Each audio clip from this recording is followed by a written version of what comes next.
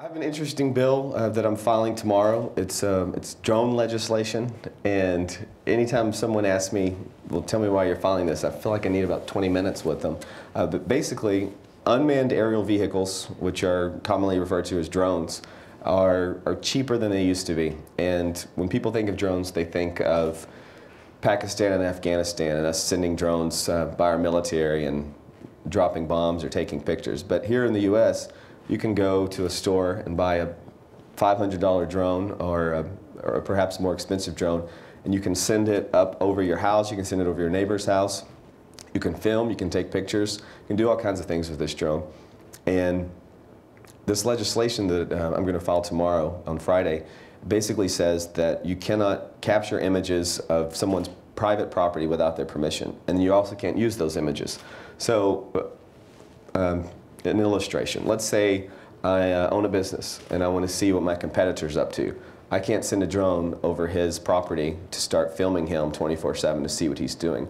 Um, let's say there is a, someone who has criminal intentions, whether it's a thief or a pedophile, uh, that wants to send a drone over a neighborhood to kind of see where people are going, what time are people home, what time are they not.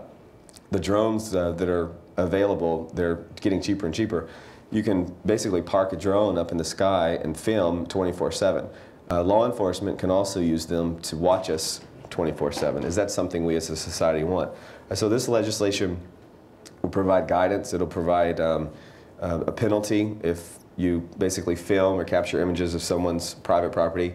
And then there's another one if you actually use those. So if, if you take pictures, it's one offense. If you put them on the internet, it's another one. And it gives someone a recourse um, if they feel like their privacy has been violated. It also gives guidance to law enforcement, requires a search warrant if they're going to just film over your property. We don't want law enforcement uh, doing indiscriminate surveillance at will. So there's several uh, provisions, exclusions, border security is one, responding to an emergency, uh, but this is going to be filed on on Friday, and I believe the Texas Tribune is going to do more of a, a story on it on Monday, so there'll be some some more information about it.